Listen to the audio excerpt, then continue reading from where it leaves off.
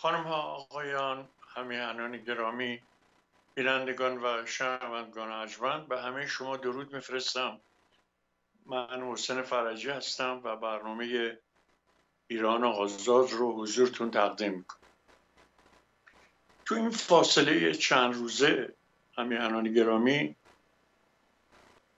اولا خود من به دلیل خونریزی داخلی و خارجی مجبور شدم به بیمارستان برم.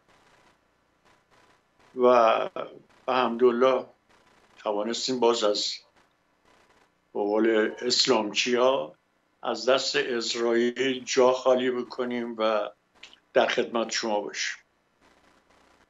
ولی تعدادی زیادی از دوستان هنرمندان نویسندگان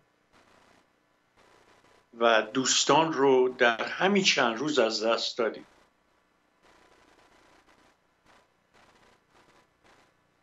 من فقط میگم که بعضی وقتا این مردک خمینی بعضی چیزهایی که می‌گفت به حقیقت نزدیکتر بود. بعضیاش. یکی این که عمر زیاد می‌تونه آدم رو شاهد مرگ عده زیادی از عزیزانش بکنه. خب آخوندا به دلیل اینکه همیشه در این مراسم پیش قدم بودن و آلاف فلوفی داشتن سر مرگ آدما خیلی واردن این. و واقعیت هم همینه.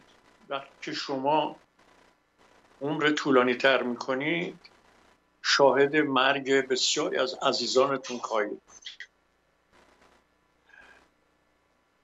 من عنوان کسی که سالها در مطبوعات بوده سالها در رادیو بوده تلویزیون بوده بعد در خارج از کشور در رادیو بوده دوباره در لس آنجلس در تلویزیون بوده.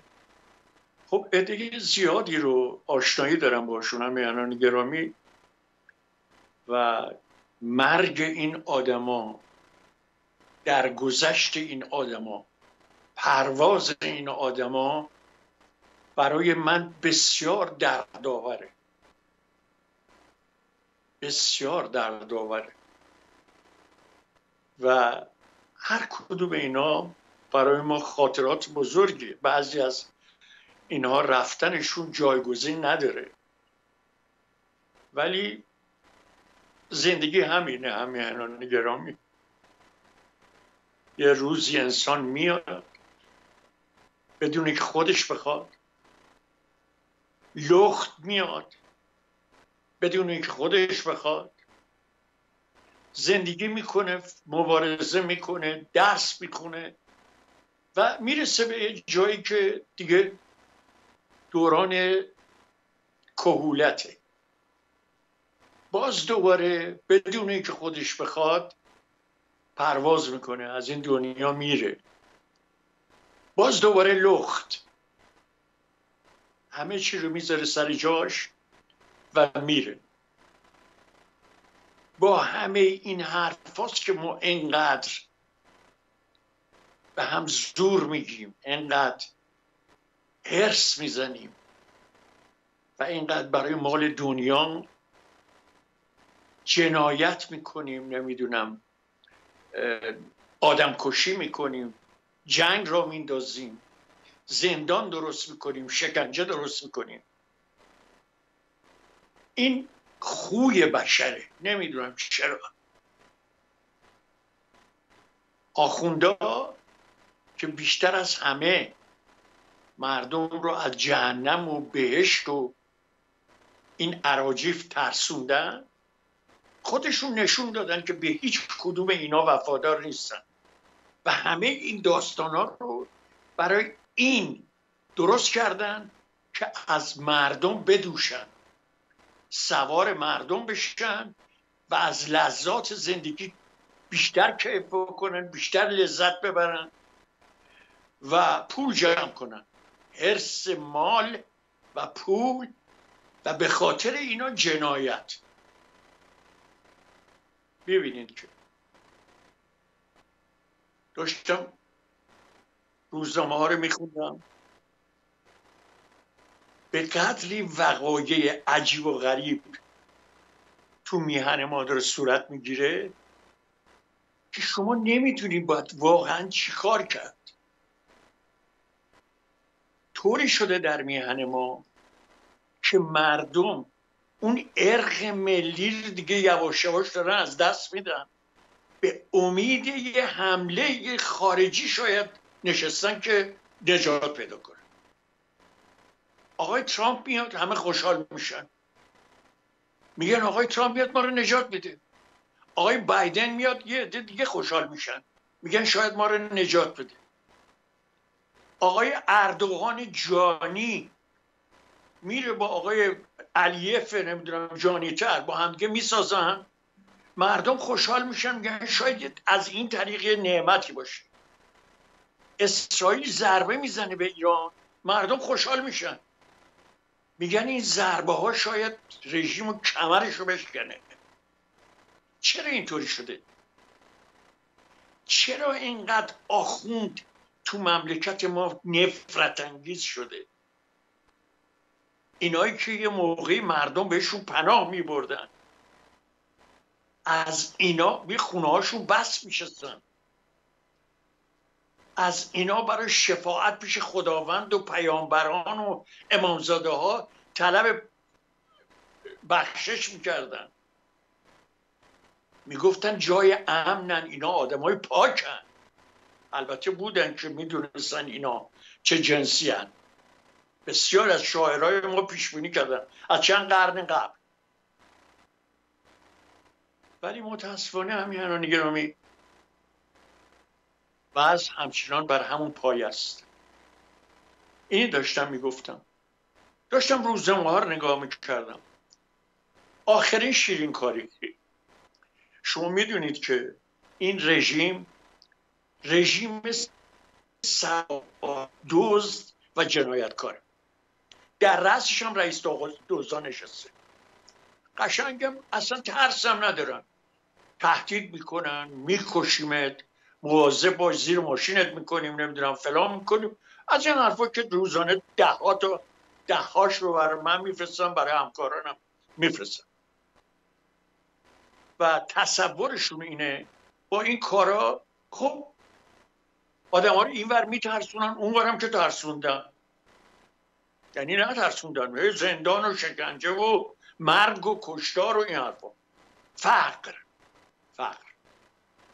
ببینید اینا یه عده آدمایی هستن که ارق ملی که ندارن. اینا نیومدن تو مملکتمون آبادانی درست کنن. اینا نیومدن جایی را آباد کنن. یکیشون گفت گفت اگه قرار بود که ما بیایم نمی‌دونم مملکت رو بهش بکنیم سوئیس بکنیم اینا. خب قبلی داشتن این کار می‌کردن. یکی از این آخونده گفت مثل که قرائتی. ما اومدیم اسلام رو تقویت کنیم که واقعا چه اسلامی تقویت کردن. مردم دینشون رو داشتن عزاداریشون رو داشتن سینماشون رو می‌رفتن تفریحشون رو می‌رفتن. هر که هر چی دوست داشت میپوشید. این جانی ها اومدن یا زور به مردم گفتن لچک سرت کن چادر سرت چه کار بکن چه کجا برو کجا بنشین. کجا بعد جلو موسیقی رو گرفتن جلو اعیاد رو گرفتن. حتی بچه ها جوان ها می‌رفتن آب میپاشیدن رو هم جلوشون گرفتن. جلو موسیقی رو گرفتن. هر چیزی که باعث انبساط خاطر مردم میشه جلوشو گرفتن در برابر. شما یه دستمال میگه دست شروع کن تو پیاده رو. گریه کن. همه از این عرازل رو باش میان. برادر چی شده؟ زیر بغلتون رو می‌گیرن. یعنی مملکت رو کردن یه حسینیه. برای اینکه مردم سری کار بذاره تو این نوشته خبری که من خوندم نوشته که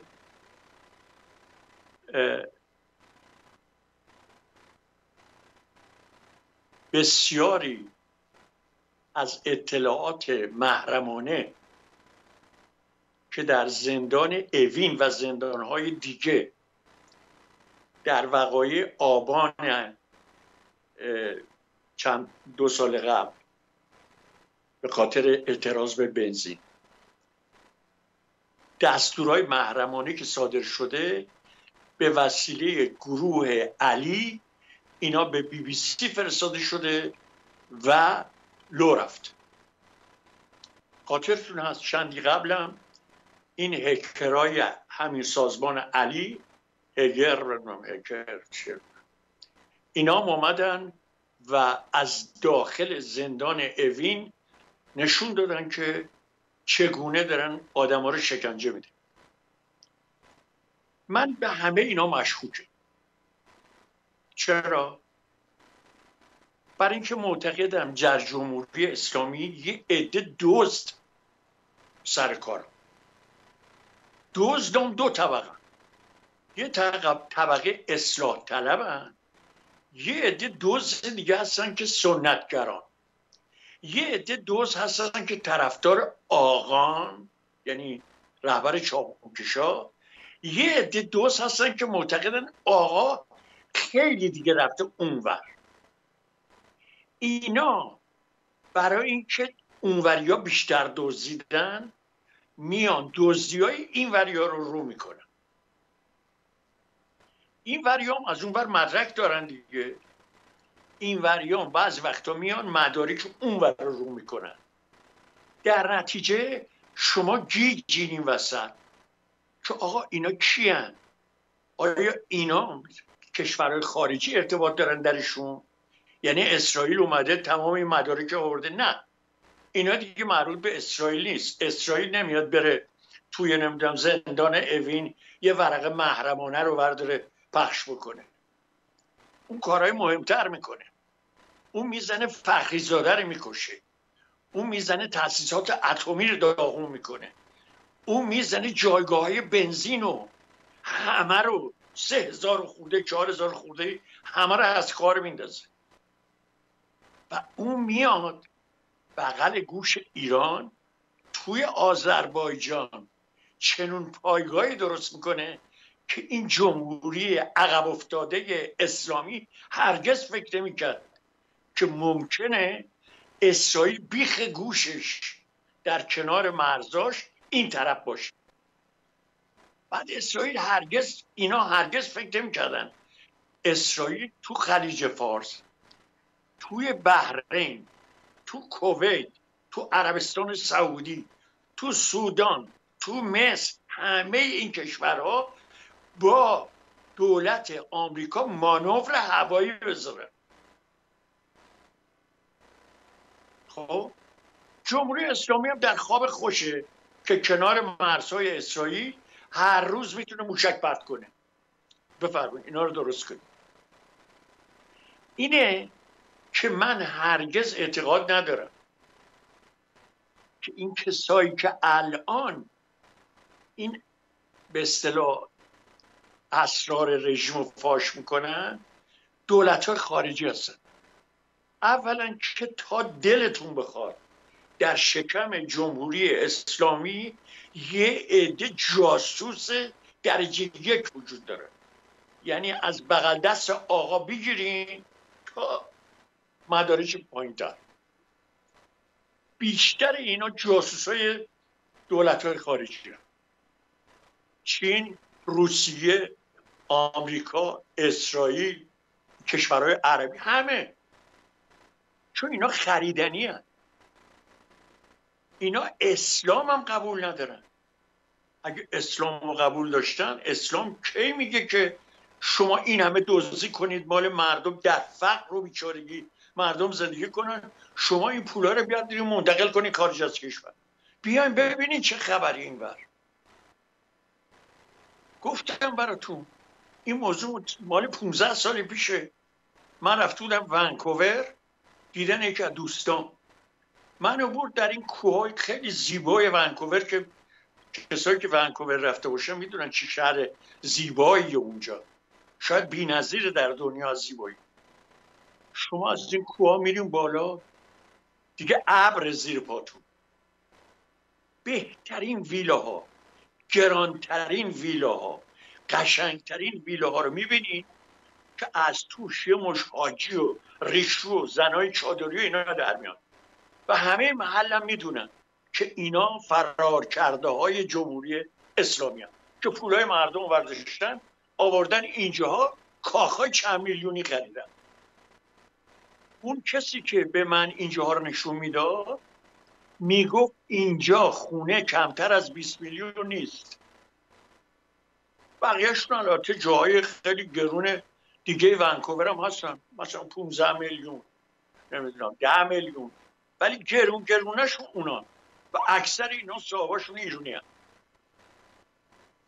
بعد این جالب بود که من با همسرم و همسر دوستم و دوستم داشتیم راه می‌رفتیم. یکی تو خیابون به اینا دید فارسی حرف می‌زنن اعتراض که چرا لباساتون انقدر بازه؟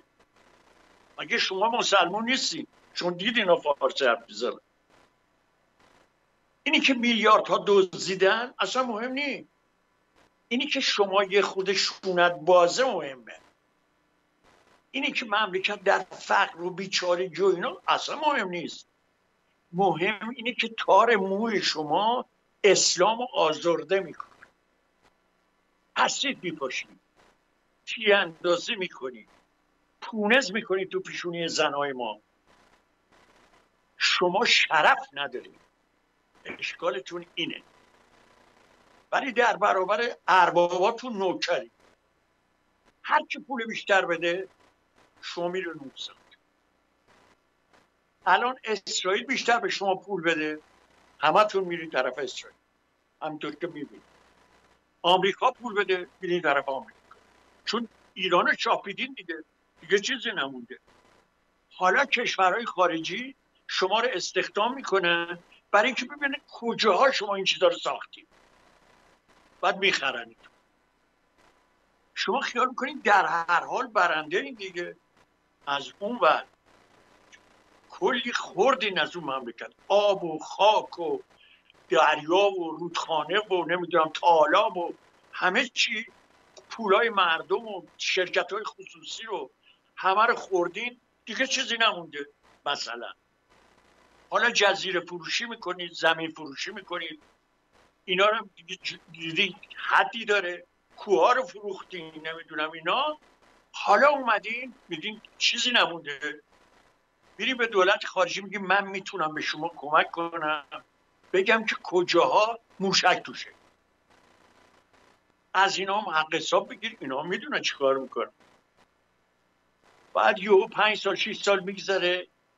جاهایی که شما سانتریفوژ درست می‌کنی یه منفجر میشه بعد معلوم شده این ستونایی که اونجا بوده از چندین سال قبل اینا توش مسائل انفجاری گذاشته.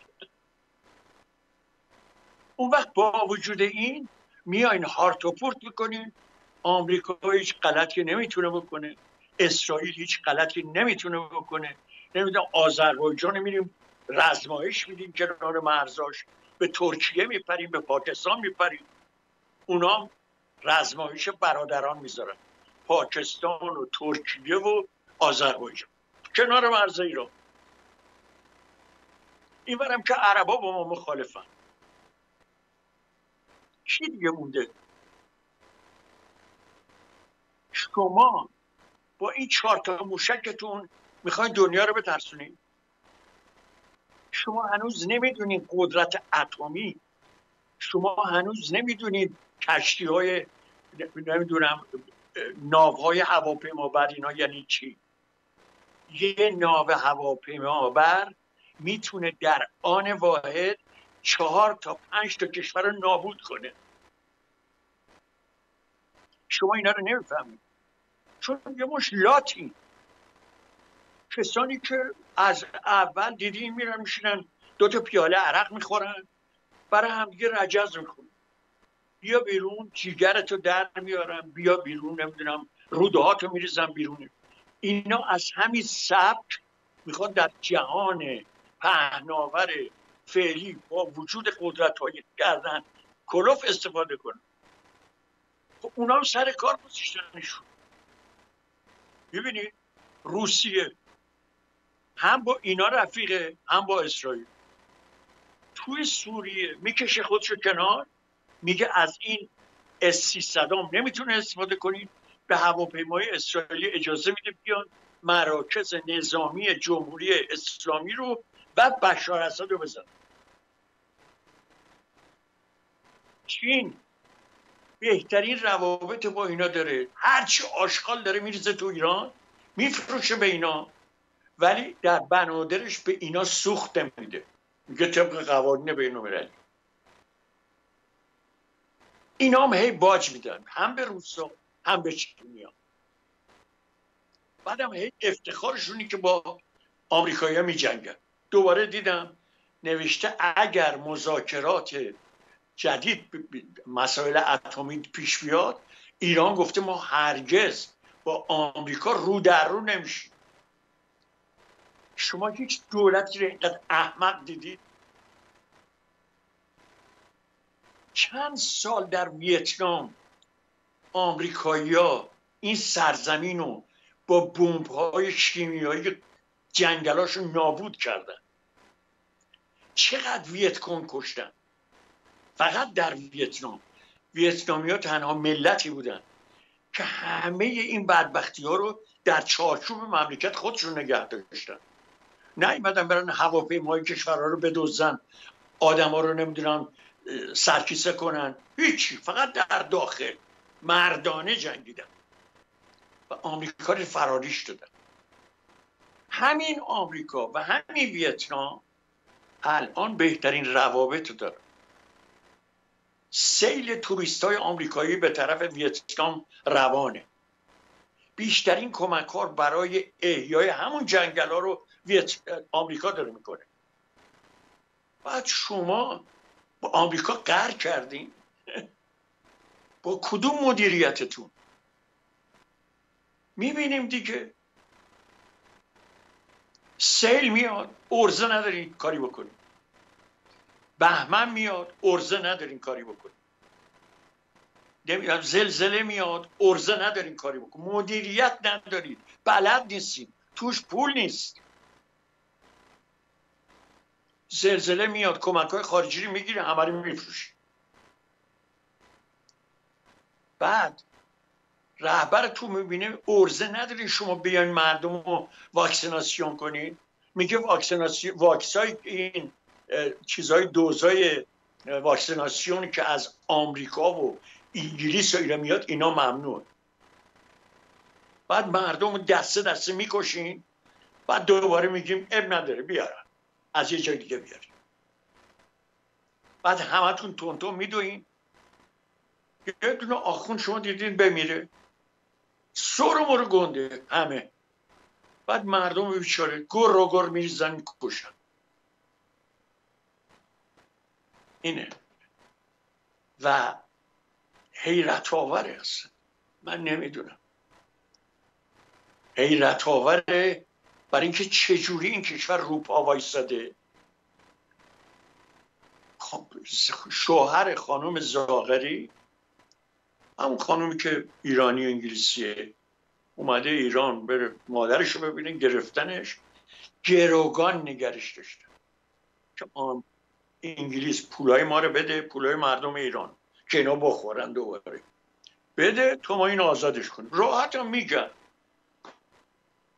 و دولت انگلیس هم گفته من نمیدم اینا هم نگرش حالا شوهر اون خانوم دو هفته از اعتصاب غذا کرده. میگه زن من چه تقصیری داره؟ بارها و بارها من تو این برنامه و همکارانم تو برنامه های دیگه گفتیم آقا بلند نشیم برین ایران. می‌بینی اینا وحشی هن؟ خب میرین گروگان میگیرنتون.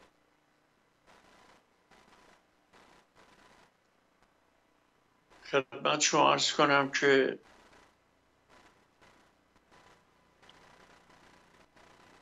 من الان این قسمتی که مربوط به ساعت درست دقیق نمی‌بینم ولی فکر می‌کنم درست دارم می‌بینم الان با اون ساعت. اجازه بدیم بریم چند تا آگهی رو ببینیم. و برگردیم من براتون ادامه بدم برنامه رو.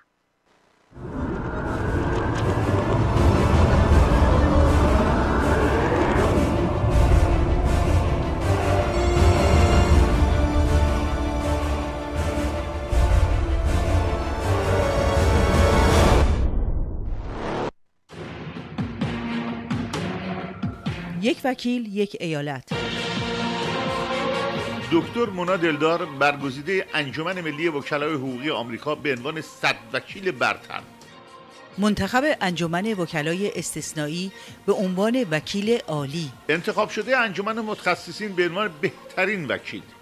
و سرانجام برگزیده کانون وکلای تصادفات کالیفرنیا به عنوان ده وکیل برتر این ایالت. شما هم برای گرفتن حق قانونی خود دکتر مونا دلدار از بهترین وکلای تصادفات کالیفرنیا را که در تمام پرونده ها پیروز بوده در کنار خود داشته باشید.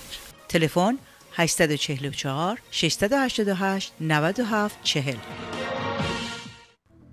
آیا می دانید شما می توانید شبکه ما را از طریق اکثر دستگاه های set-top box از قبیل GLBox، Android Box، Apple TV، سامسونگ بلوری، روکو و آمازون فایر تیوی تماشا کنید؟ جیل ویز پل ارتباطی شبکه ما با شما پس من میرم چای بیارم تو هم سریال دیشبیه رو بذار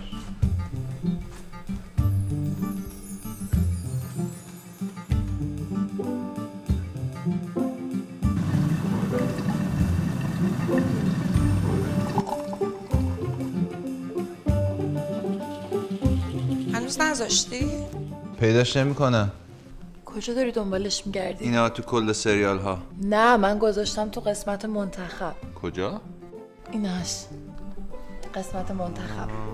و این چجوری رفته اونجا؟ تو هر برنامه که دوست داری کنارش روی منو کلیک می‌کنی. بعد می‌زنی روی favorite بعد اینا ذخیره میشه توی قسمت منتخب. خوب جیل ویزی شدی یا شیطون؟ مرسی از بابت چایی.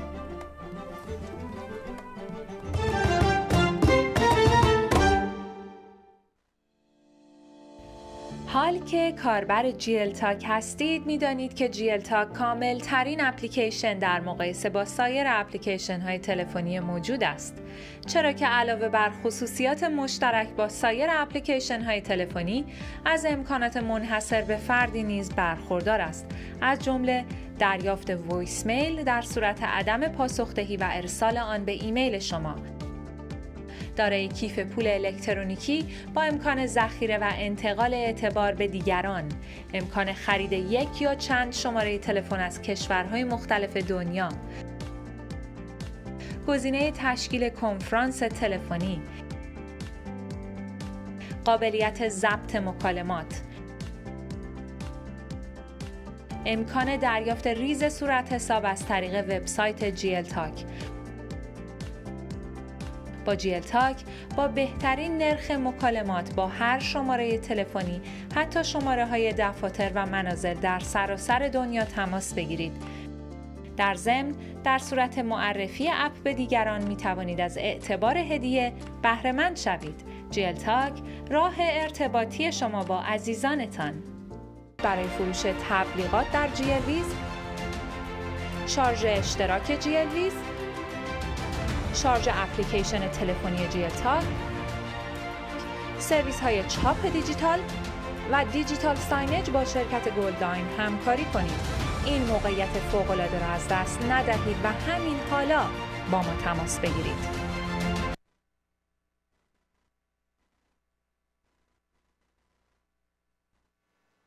خب همیهنان گرامی آگهی ها رو دیدیم. من ابتدای برنامه شروع کردم. راجع به بسیاری از انسانهای شریفی که در همین دو سه روز گذشته فوت کردن و ما رو دوباره تنها گذاشتن صحبت بکنم. سیروس آموزگار رو همیهنان گرامی بیشتر شما می‌شناسید. به دلیل بیان بسیار جذابش به دلیل نوشته ها و نقد های بسیار عمیقش به خاطر شیوه بسیار زیبای نگارشش و فعالیت های سیاسیش. سیروس آموزگار یکی از وزرای معروف شادروان دکتر شاپور بختیار بود. بسیار. انسان شریف و پاک بود. همه میشناسنش. کسانی که از نزدیک با آقای آموزگار آشنا بودن می‌دونن که او مردی با شرف انسانی پاک و انسانی عمیق و با مطالعه. من نمی‌دونم به کی باید تسلیت گفت. در گذشت یک انسان والایی مثل سیروس آموزگار درست مثل که هر تکه وجود ما رو از بدنمون جدا کنن یه همچه احساسی من دارم. بعد هنوز از گیجی سیروس آموزگار در نیومدیم اطلاع میدن که احمد آزاد هنرمندی که سالیان بسیار در تلویزیون پارس برای مردم داخل ایران برنامه اجرا می‌کرد. روزهای جمعه شب که می‌شد روزهای شنبه به سر پنجشنبه شب که می‌شد صبح جمعه تهران ایران. و ببینیم که احمد آزادم به اصطلاح ما رو ترک می‌کنه. و کسانی دیگه همکاران تلویزیونی من همکاران رادیویی در داور این صحبت ها و کسانی که عده زیادشون تمام این بدبختی ها تمام این هجرت تمام این فشارهای مالی اینا رو تحمل کردن برای اینکه امید داشتن که آزادی ایران رو ببین سیروس آموزگار برای اینکه تن به این نده که از کمک های دولتی کشورها استفاده کنه روزنامه فروشی می‌کرد. یعنی یه دکه درست کرده بود. کتاب روزنامه میفروخت در پاریس.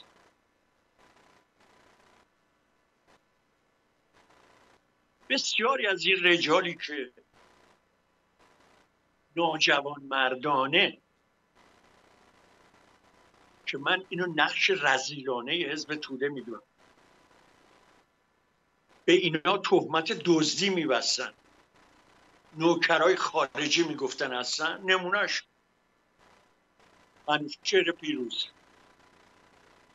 نمونهش سیروس آموزگار. و عده زیادی.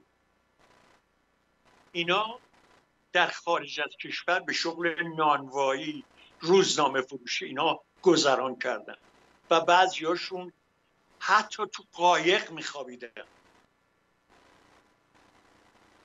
در حالی که ناجوان مردانه همین آخوندا همین دزدا با کمک چپای ایران یعنی چپای مستقل نه مثل حزب توده و نمی‌دونم فدایان اکثریت همین آقای فراغ نگهدار اینا. می‌گفتن که میلیارد میلیارد اینا پول از ایران بردن بیرون. بعدا معلوم شد که در فقر و گرسنگی و بیکاری و نمی‌دونم فشار روحی یا خودکشی کردن و یا فوت کردن. خب؟ ولی اون طرف قضیه. فیت مارشال نقدی. یه آدم رزل از اوباش طوری شده که این میاد سرنوشت میاد راجع به تاریخ ایران صحبت می‌کنه. این جالبه. مثل اون رهبرشون که رفت نشست توی شاچرا گفت اونجا اون کاخا رو می‌بینین تخشمشید گفت اینا کاخهای ظلمه.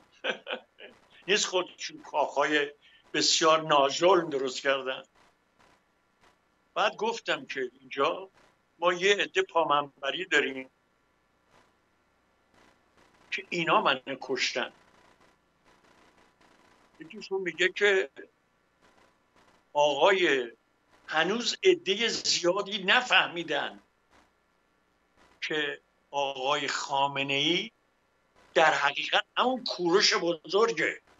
راه اون رو ادامه میده.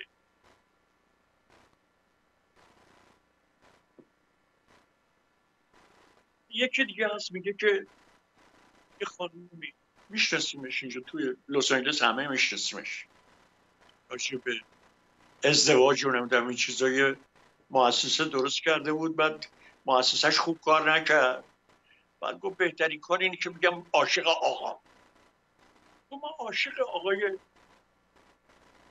چیز هستیم خامنه هست. ما عاشق بعدم رفت ایران و حق عاشقیش رو گرفت و برگشت. حالا هی میگه من عاشقم.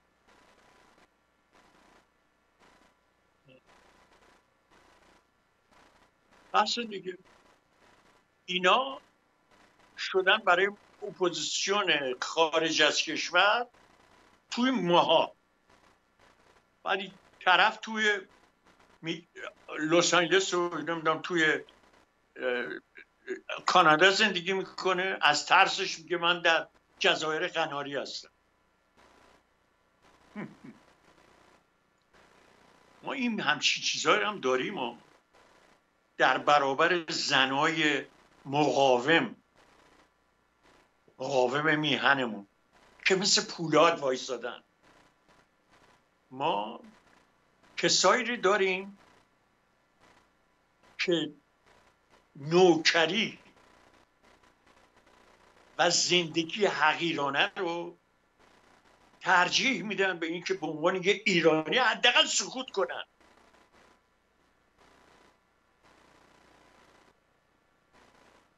اون آقای اینچیک دانا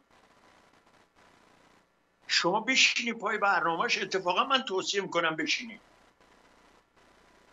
ببینید چه عراجیفی سر هم می‌کنه. و این جالبه که اینا همه یکی دونه هم می‌ذارن اینجاشون. این آقای شاهزاده رضا پهلوی آقای رضا پهلوی میگه آقا اینا با من نیستن راست میگه. آقای فخرآور. لباس جفرسون پوشیده. اول که میگه من خواهرزاده رضا بودم. بعد میگه به من نگاه کنی من بیشتر شبیه رضا نیستم. بعد پرید به رضا پهلوی پرید به شعبانو پرید به نمی‌دونم عده زیادی رو. بعد هم معلوم شد اصلا دروغ میگه این آدم. همه حرفاش دروغه. رفیق آیت الله نوشته تمامشو. شو اصلا این واقعا تعجب کردم. ببینید بدبختی ما اینه همین الان گرام. ما همین الان گفتن خمینی مردم سر کار گذاشت. مردم تصویرش تو کره ماه دیدن. و این نمی‌دونم به دلیل خوشباوری مردم بود از این حرفا. 20 سال بعد از خمینی یه آدمی اومد گفت من حقام. دوباره مردم اون سر کار گذاشت. دوباره مردم رفتن همون مسیری که با خمینی طی کردن دوباره با این یارو طی کردن. خب یه سال بعد از این مردک حقا دیدین که حقا گفت آقا ما با 20 تا هواپیما و 50 تا هواپیما میریم تو میدون آزادی میایم پایین و بعد میشینیم اونجا شعر می‌خونیم و سرود می‌خونیم و هیچ کس هم نپرسید چه جوری. بعدم درست اون روزی که گفت من پرواز می‌کنم همه باور کرده بودن. خیلی ها من خنده دار بود برام. درست اون روز گفت نشد دیگه. نشد. من به شما قول میدم. الان دوباره یکی دیگه بیاد. بیاد همین مزخرف هایی که حقاب و نمی‌دونم این فخر عباس فخرآور و اون این که دانا و اینا میگن همینا رو بگه شما خیال می‌کنی مردم باور نمی‌کنه بازم می‌کنه ما نشستیم یا امام زمون یا ترامپ یا بایدن کدوم میان ما رو نجات بدن دیگه. خودمون هیچ. در داخل چرا؟ این وره میگم. بتونیم فقط زندگیمون رو بچرخونیم و به هم دیگه تهمت بزنیم و نمی‌دونم. تنها کاری که نکنیم اینی که یه راهی پیدا کنیم که این راه حداقل به افتضاح بیشتر حکومت در محافل جهانی بیانجامه. نه. در اروپا بسیاری از این فعالین ایرانی اروپایی کارایی می‌کنن حیرت آور فلان وزیر بلند میشه میاد در نمی‌دونم فلان شهر دور افتاده سوئیس بلند میشن همه میرن اونجا تظاهرات می‌کنن. حمید نوری رو میارنش بیرون و یقش رو می‌گیرن برنش دادگاه. ایرج مستاقی دیگه. مهدی اصلانی اینا؟ ولی در امریکا ایرونیا حتی یاد بوده. چرا؟ خیلی کم البته. خیلی کم. میگم که اشکال ما در اینه همین الان گرامی که از تلویزیون ها و از رادیوهای سیاسی. انتظار داریم نقش سندیکا رو بازی کنه. نقش مبارز بازی کنه. نقش هدایت کننده بازی کنه. نقش همه رو مجانی. ولی خودمون حاضریم بریم شبی یه میلیون ببازیم ولی نیاین یه مؤسسه درست کنیم برای ایرانیایی که اومدن توی کشورمون یعنی تو امریکا کشور دوممون. اقل اینا رو راهنمایی کنیم. اینا رو تحویل یه مش آدمایی میدیم که برای اینکه جواب به اینا بدن صورت حساب بهشون میدن. خودم تجربه کردم. وکلای انسان خیلی خوبی هم هستن. وکلایی هم هستن که تازه بنده که نمی‌دونم ژورنالیست بودم میشناختنم فلان. تا 23 هزار دلار از من پول گرفتم تا من تونستم گیرین کارت بگیرم ولی برین ببینین کره ها چیکار می‌کنن. هندی ها چیکار می‌کنن. پاکستانی ها چیکار می‌کنن. به محض اینکه یه نفر عرب یا یه نفر پاکستانی یا هندی یا نمی‌دونم کره از در وارد میشه میارنشون نمی‌دونم ترخوششون می‌کنن بهشون وام میدن. و بعد محفظه و این کارا درست می‌کنن تا اینا به تدریج بدهیشون بدن ولی وای به حالی کسی که نده. ما چی؟ هیچ. تا بتونیم پشت پا. درد دل به قدر زیاده که من بعضی وقتا این نامه هایی که به وسیله چیز میاد پست برای من میاد یا به وسیله ایمیل برای من میفرستن یا تلفنی بعضی از دوستان صحبت می‌کنن. هی میگن اگه میشه اینا رو هم بگین. آخه من چی بگم؟ اینا درد اکثر مردم ایرانه. در هر صورت در گذشت سیروس آموزگار. احمد آزاد. و بسیاری از عزیزانی که در یکی دو هفته گذشته فوت کردن به خانوادهشون به مردم ایران و به جامعه هنرمندان و نویسندگان تسلیت میگم آرزو دارم که این مرگ و میرها متوقف بشه. هرچی زودتر مملکت ما از شر یک مش آدمای عقب افتاده دزد جانی بی سواد عقب افتاده خلاص بشه. این تنها آرزویه که من می‌تونم تو زندگیم داشته باشم.